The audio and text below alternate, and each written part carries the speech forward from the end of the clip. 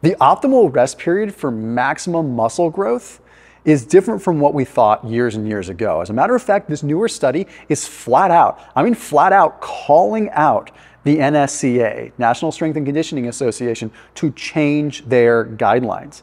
The NSCA has claimed that 30 to 60 seconds is the optimal rest period for maximal muscle growth.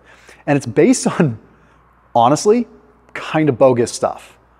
I don't understand like why this hasn't been changed yet. So the NSCA claims that 30 to 60 seconds is the optimal rest for muscle growth. And that's based upon hormonal changes that happen during the workout. I think most of us in the content sphere now, people that consume information online, know that like working out increases testosterone levels for a little bit after your workout. They looked at this and they said, well, since testosterone levels increase the most with 30 to 60 second like rests and high intense exercise, that's going to be the best for muscle growth. Well, let me tell you something. If I were to go sprint right now, if I were to go sprint, that would cause a pretty big increase in my testosterone levels. Probably more so than if I were to squat because sprinting is going to be more intense. Does that mean that sprinting is going to build more muscle than squatting? No. So most of us know that to be true. So this new study, check it out. It was a meta-analysis of nine different studies. It was really well put together. And they divided multiple different categories of rest periods. So a zero to 60 second rest, 61 to 119 second rest between sets, 120 to 179 second rest, and 180 second plus rest. It was pretty interesting data, and we have a lot to take a look at. I'll give you the basics of it, but if you by any stretch like take those basics and try to apply it, you're to kind of fall flat on your face because we need a lot more context. So I'll explain what they found. They basically found that roughly 60 seconds was a nice amount to be at for rest. 60 to 90 seconds seemed to be a sweet spot. One to two minutes overall was pretty good. And then after that, three minutes plus was really good for overall muscle growth. But two to three minutes was not as good. So one to two minutes was really good, three minutes was really good, but two to three minutes was not as good. It's kind of confusing. What's going on here? Basically, what we found is that rest periods are not as important as we thought.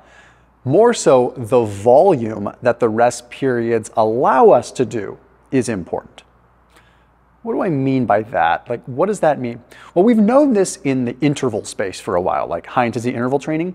In fact, I've often said that it's more important to have adequate rest so that your interval is effective than it is to have like a one to one ratio. For example, if I was running interval sprints on a treadmill, if I ran 60 seconds, I don't automatically need to take a 60 second rest. What I need to do is run for like 30 seconds and then take as much rest as I need to have an effective next 30 seconds, right? It's all about the recovery so that you can get the adequate set.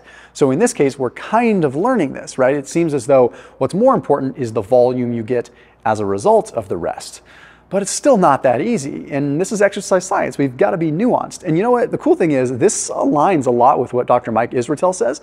And he and I have talked about just this thing. In fact, I'll do another video where we kind of expand on that. But in order to fully understand this, we have to look at older studies too, and then put some pieces together. So some of the same authors from this new paper were authors on a 2016 study that was pretty interesting that really uncovered a lot of stuff at the time, but then allowed this evolution to occur where we learned a lot more about exactly what the ultimate like rest period and volume is for muscle building. So in this case, they divided people into two groups, a one minute rest period group and a three minute rest period group, and they had them train for eight weeks. And they did seven exercises with three sets of eight to 12 reps. So volume was you know, right around there. What they essentially found is that maximum strength came from the longer rest periods, the three minute rest period, as well as tricep growth and quad growth, which is really what they were measuring, came from the longer rests with the heavier weights. So basically, they were able to rest more and ultimately able to lift more. So it sort of at the time confirmed this whole theory of mechanical tension being the most important thing for building muscle. Like the more load, the more tension you can put on the muscle, the more muscle you can build. Still a viable concept, but this is a big but. I want you to look at the chart that's on the screen right now. This is the maximum volume load. This is very important for this study. The volume load was the load, the weight, times reps, times sets. And if you look at the chart, the group that had the higher volume load was the group that had the longer rests. So basically, how much weight was moved through the whole workout. So if I could bench press a thousand pounds and I did 10 sets of bench press, I would have moved 10,000 pounds. If I bench pressed 500 pounds and I did 20 sets, I would have moved 10,000 pounds, right?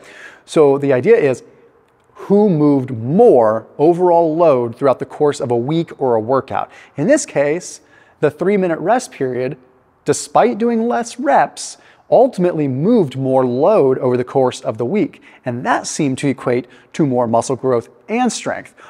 But we need to keep going. Now, I want to stop for a second and say that there's a couple things independent of this that may not have been looked at. Okay, they didn't necessarily look at their protein intake. Protein intake is number two. Stimulus is number one, protein intake number two, calories number three. Protein intake is super, super, super critical for muscle protein synthesis, for strength, and definitely for hypertrophy. So without equalizing and kind of looking at that, it's hard to see exactly, right? We weren't matching their diet per se. We can't say 100%. So I, being a nutrition guy, I come in and I'm like, what was the protein at? So keep the protein high. Also, muscle growth, I would highly recommend having like three to five grams of creatine, possibly even more. The evidence on creatine and muscle mass and strength is some of the most undeniable research that you're gonna find. It is absolutely strong. I would even go so far as saying the science is settled at this point, which is hard to say because creatine is very powerful and it is one of the most backed ergogenic aids that exists. I put a link down below for the preferred creatine that I use. I like to microdose my creatine throughout the day so I don't retain as much water. If I take like a five to 10 gram serving of creatine, I retain water pretty massively in the face and in the abdomen. But if I do like one to two grams multiple times per day, I find that I retain a lot less water. So the Create creatine gummies that I linked down below, that is a 50% off discount link. So 50% off Create creatine gummies and they're sweetened with allulose, so they don't have added sugar. The only sugar that's in them is a couple of grams to help with creatine uptake. The rest is allulose, which is a natural sweetener that isn't sucralose or anything like that. And it can actually help modulate blood glucose. So one and a half grams of creatine per gummy. So you could just take like three or four gummies throughout the day and they A, taste good, but B, you're not getting that water retention as much as you would in like in the extracellular space. You still get water retention inside the muscle and that creates internal leverage, which allows you to actually lift more, which is one of the reasons why creatine is effective as a muscle building supplement. Not just because it brings water in, but because it can draw water in and gives you more leverage so you can potentially lift more but it also helps you, of course, increase ATP turnover. So you're getting more ATP and more overall strength, right? More power and energy to the muscle. So that link down below for 50% off, I highly, highly recommend you give those a shot. Four different flavors to try as well. So this newer 2022 study published in the Journal Strength and Conditioning Research shows us straight up that it's not necessarily the rest period, it's the amount of volume that the rest allows to happen. Fascinating study took four groups, a long rest three minute interval, a short rest one minute interval, Okay, and then what is called a volume matched short interval and a volume matched long interval. Just like the name implies, they said if people can move 10,000 pounds with a three minute rest period, and they can only move 500 pounds with a one minute rest period, let's go ahead and match the volume with a short rest. So basically, they said three minute rest period, they can move a lot of weight. With this one minute rest period, we're gonna adjust the number of reps so that their total volume is matched. So if the three minute rest group moved 10,000 pounds, we're gonna make it so that the one minute rest group also moves 10,000 pounds. It just might be in the way of more reps, right? So basically trying to show that doesn't really matter, we just wanna look at equal volume. So they equalized it that way. This is where the results completely blew the exercise science community back, right? But it's fascinating. The best results for muscle hypertrophy, for muscle growth, came from the long rest, three minute rest group, and the volume matched short rest. So a one minute rest still worked great, just as good as a long rest, as long as the volume, the total load moved, was matched. So your one minute rest periods, nothing really shorter, one minute rest periods are still gonna get you a lot of hypertrophy as long as you are adjusting the resistance to make it equal to what you'd be doing if you had a three minute rest period, right? So once again, if you had a three minute rest period and you could bench press a thousand pounds, but you can only bench press a hundred pounds with a one minute rest period, you need to do 10 reps with that 100 pounds. You need to get yourself to that equal point. That makes sense. I'm gonna go ahead and read you an excerpt from this study. So it's coming from the researcher's mouth, not some harebrained weirdo on YouTube like me. These data suggest that the maintenance of high loads is more important for strength increases, while a greater volume load plays a primary role for hypertrophy regardless of the rest interval. More rest equals more number of reps equals more time under tension. So the mechanical tension does matter, but it matters over the course of the workout, of the week, of the month, not just the literal set or rep. But not so fast, right? This is complex stuff. First of all, full disclaimer if you're a conditioned athlete, there's going to be periods of time where it is a very, very good thing to say do 30 second rest periods.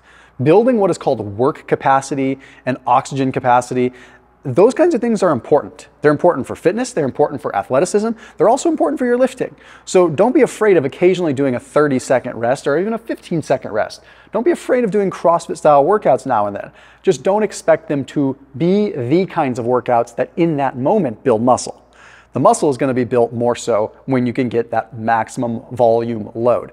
That being said, if you're like the kind of person that wants to do a 60 second rest period, I understand that you just also have to exercise some caution because your total like allostatic load, the load on your body and the actual muscle damage could be a lot. And remember that muscle damage and creatine kinase levels that are elevated, that's not necessarily a prerequisite for building muscle. Like building muscle is not about all the muscle damage you can do. The more sore you get, the more beat up, the more inflamed, that does not mean anything. In fact, here's a study to reinforce this. Okay, Frontiers of Physiology one minute or three minute rest periods. They had them do five sets of 10 reps of bench press and five sets of 10 reps of leg press. Okay, what they ultimately found is that the one minute group had significantly more muscle damage, higher creatine kinase levels, and higher inflammatory markers at 12 and 24 hours afterwards, even though the ultimate amount of weight moved was roughly the same. The goal isn't high levels of stress, inflammation, and creatine kinase. The goal is the maximum recoverable volume. What can we get out of this, right? How do we get the most load moved with the maximal amount of recovery? So you may be able to perform that this workout, maybe next workout, maybe even next week's workout, but eventually those creatine kinase levels and that inflammatory response is going to wear on your recovery. So three minute rests are nice to throw in there so that you can go heavy with less creatine kinase and overall allostatic load on your body. So less stress on your body. So what I would suggest here, since we found that 60 seconds is a sweet spot, personally, I would go 60 second rest periods for most of your workouts, like for like two weeks, and then go maybe one week of a three minute rest period.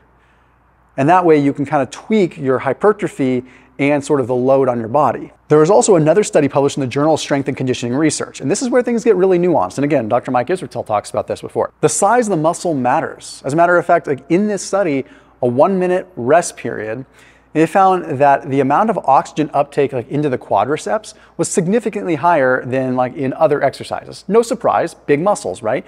So the size of the muscle is going to dictate how much recovery you have.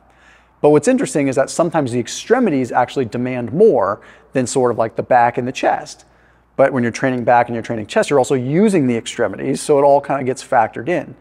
But big muscles, like muscles in your legs, you probably should give yourself a little bit longer recovery. So when you're programming your own workouts, give yourself 90 seconds for your legs, maybe 60 seconds for upper body because it's not all relative. The amount of oxygen uptake and that requirement, that is going to tax your body and ultimately hinder your recovery to a certain degree. As always, keep it locked to here on my channel. We'll see you tomorrow.